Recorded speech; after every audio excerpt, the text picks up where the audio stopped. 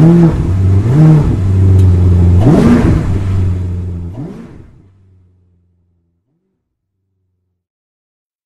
is the X8R DSG Accumulator Repair Kit, suitable for a huge range of Volkswagen Audi vehicles fitted with a 7-speed DSG gearbox. The cast metal housing the accumulator seats into is too thin for the pressure exerted within the accumulator, causing the housing to crack and the system to lose pressure. To replace the cast metal housing is time-consuming, expensive, and will only fail again in future.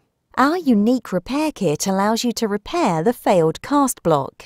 Our accumulator base mounts into the cast block and restores full function. Our improved design accumulator then screws into place using the tool provided. No programming is required pre or post installation. We offer accumulator kits complete with gaskets, DSG oil and syringe, DSG filter and sump cover. Please see the link in the description to purchase the item. Alternatively, contact us on the email address or phone number on the screen.